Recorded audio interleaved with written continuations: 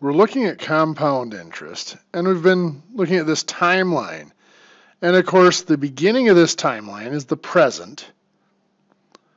So we refer to the, the value of any account at the beginning as the present value, abbreviated, of course, PV. And the end of the timeline is at some point in the future.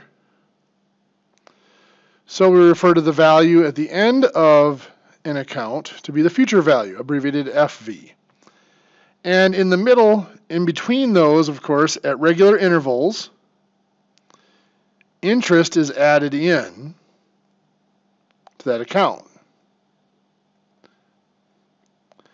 And of course, the term compound interest just means that once that interest is added in, the next time interest is calculated, it is calculated on top of the previously earned interest.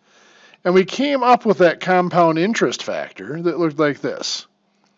1 plus the rate divided by n to the power of nt. And what that is is just it creates a multiple for that interest over that period of time. Remember, R stands for rate, which is the percent as a decimal.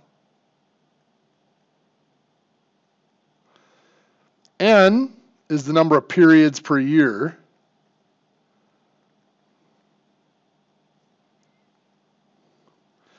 And T is the number of years.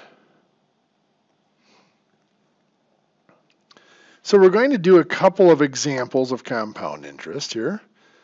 Calculating the future value. So what we're, we're doing here is if we know this present value, we know the value right now, and we know the requirements or the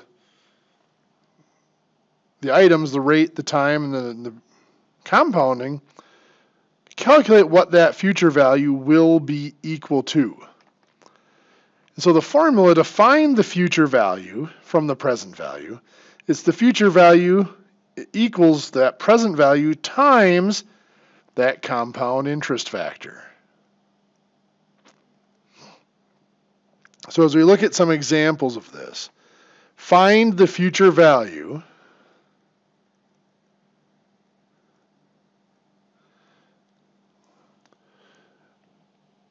of $8,000 invested at 5.9% compounded quarterly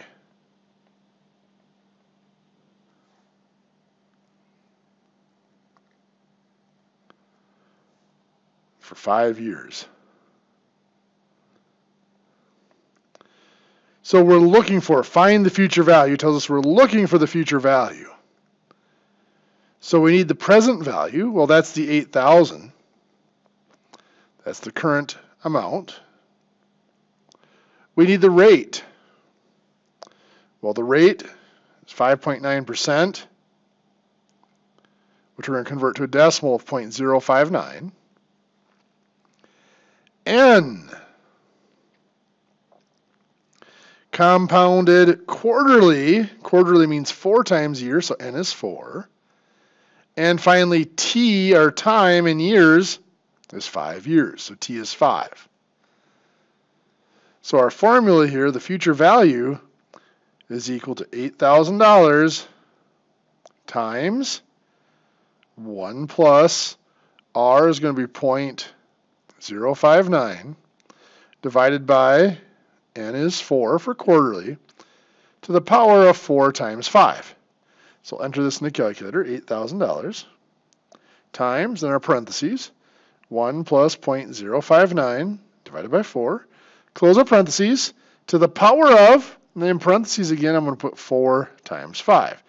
Now, in many cases, rather than putting that parentheses in the exponent like that, I'll just, knowing that 4 times 5 is 20, I will enter that as one exponent. So I get $10,721.89.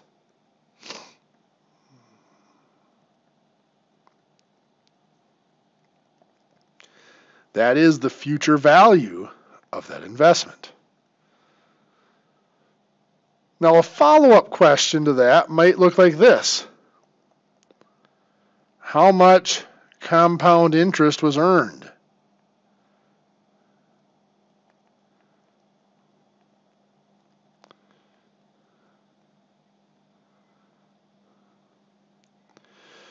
In fact, if we were asked to find the compound interest, we would have to do all of this to begin with and then do this next step to find that compound interest.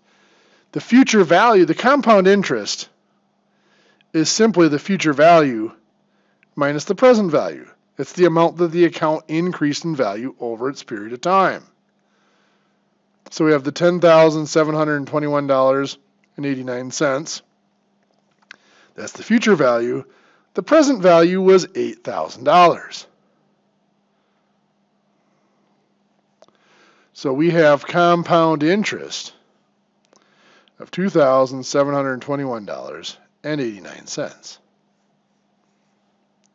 Like I said, if we were only asked to find the compound interest earned, we would still have to do all these steps up here anyway to get to that point.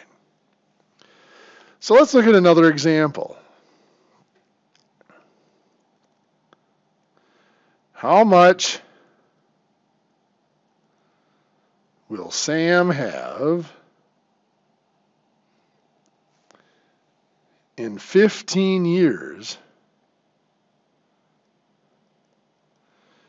if $2,500 is invested at 8.3% compounded monthly.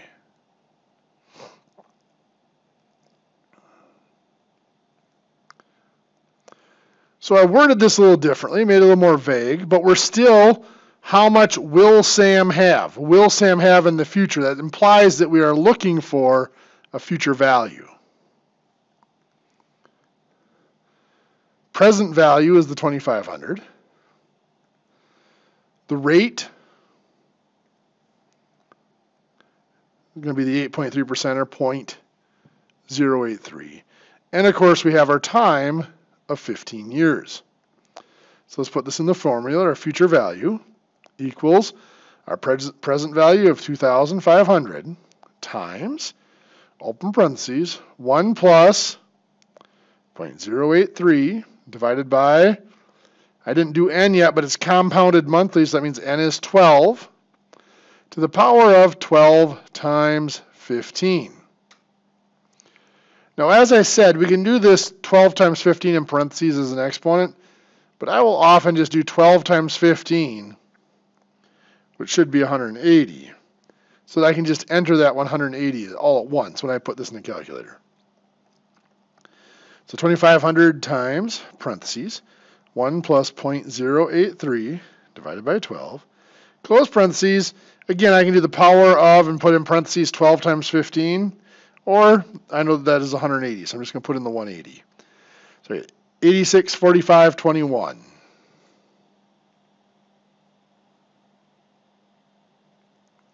So $8,645.21. Now again, if I have that follow-up question, how much compound interest is earned? It's simply going to be that amount, that future value, minus my present value, my starting value. and I will calculate a difference of $6,145.21. That's the compound interest.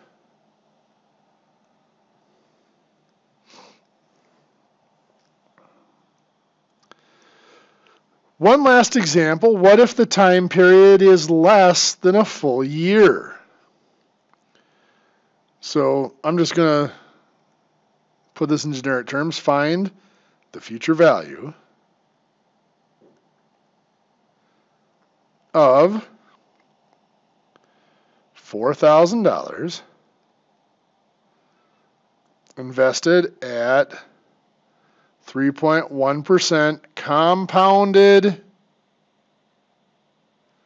monthly for eight months.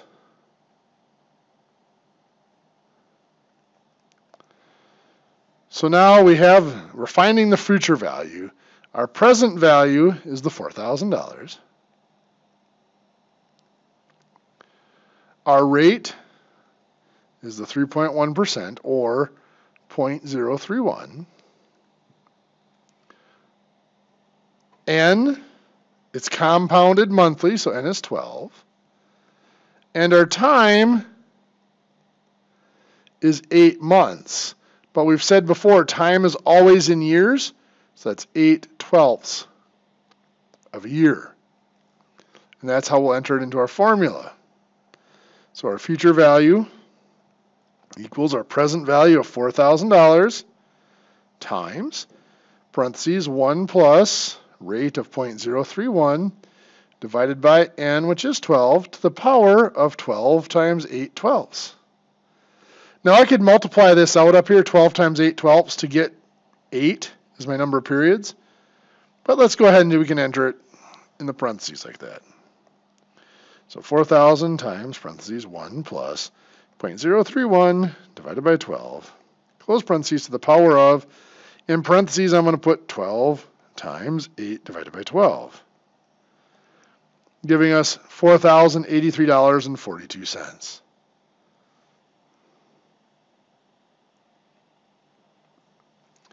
That is that future value. So those are the basics of a future value calculation. All we have to do is remember the formula for that future value based on present value.